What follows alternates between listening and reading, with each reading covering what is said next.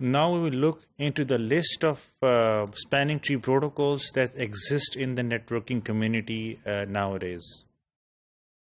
काफ़ी ज़्यादा वराइटीज़ हैं स्पैनिंग ट्री प्रोटोकॉल्स की uh, जो कि इमर्ज हुई आफ्टर ओरिजिनल uh, जो I I triple eight one D जो थी स्पैनिंग ट्री प्रोटोकॉल की स्पेसिफिकेशन के बाद सबसे पहले जो थी वो तो 98 में ओरिजिनल जो एट टू वन डी आई थी, जिसको हम लेगेसी स्टैंडर्ड कहते हैं for bridging and spanning tree protocol STP और इसमें जो मेन इसका चीज़ थी वो ये थी कि ये अस्यूम करती थी only one spanning tree instance for the entire bridge network regardless of the number of VLANs जो कि एग्जिस्ट करते हैं एक नेटवर्क के अंदर।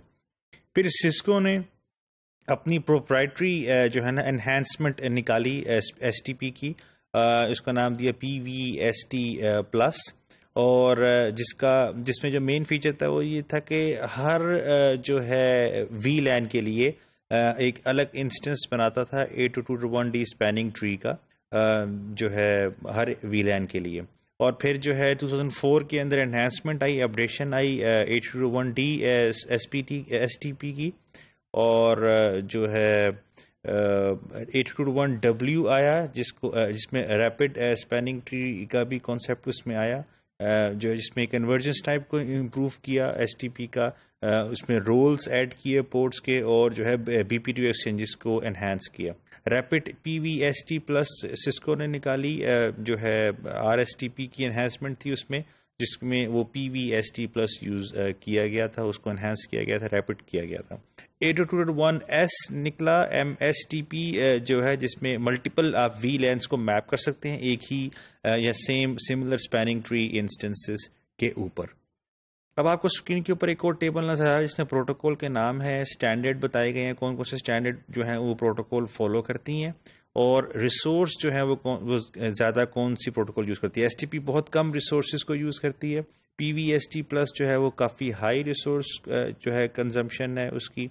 और आर एस टी पी की मीडियम है। Rapid P V S T plus जो सिस्को की प्रॉपर्टी है, वो बहुत ज़्यादा रिसोर्स यूज़ करती है। और जो मल्टीपल स्पैनिंग ट्री प्रोटोकॉल है, वो मीडियम से हाई तक। रिसोर्स यूज़ करती है। कन्वर्जेंस जो है वो एस टी पी और P V S T plus जो कि लेगेसी थी, फिर सिस्को की थी, इनकी स्लो कन्वर्जेंस है। बाकी जितनी भी इन्हेंसमेंट हुई उनकी कन्वर्जेंस काफ़ी फास्ट है। ट्री कैलकुलेशन जो है एस टी पी तमाम वी लेंथ के ऊपर एक ही एस टी पी बनाता है। P V S T plus जो है, हर वी लेंथ के लिए अलग एस टी पी इंस्टेंस बना सकता है। आर एस टी पी तमाम वी लेंथ के लिए एक ही है। रैपिड जो है हर वी लैन के लिए है और एम एस टी पी जो है पर इंस्टेंस के लिए मल्टीपल वी लैंस को सपोर्ट करता है।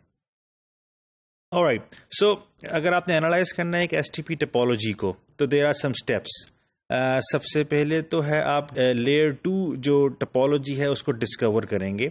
उसके लिए या तो आप नेटवर्क डॉक्यूमेंटेशन अगर हुई हुई है तो उसको आप देख सकते हैं, या फिर there is a command for it जिसमें आप show C D P neighbour की कमांड होती है, जो कि हर स्विच के ऊपर आप एग्जीक्यूट करके आप बता सकते हैं कि मेरा नेबर कौन कौन से है, और उससे आप पूरी नेटवर्क की टपोलॉजी बिल्ड कर सकते हैं लेयर टू टपोलॉजी तो this is this is the step one उसके बाद जो है आप जो है एसटीपी जो नॉलेज होता है आपका स्पैनिंग ट्री प्रोटोकॉल का नॉलेज उससे डिटर्मिन करेंगे कि लेयर टू के पाथ क्या क्या एक्सपेक्टेड बनेंगे।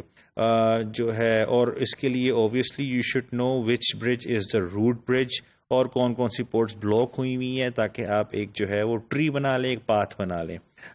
उसके लिए there is a command for it in step three show spanning tree spanning tree आगे वी की कमांड होती है, जो कि बताती है कि कौन सा जो स्विच है, वो रूट ब्रिज है।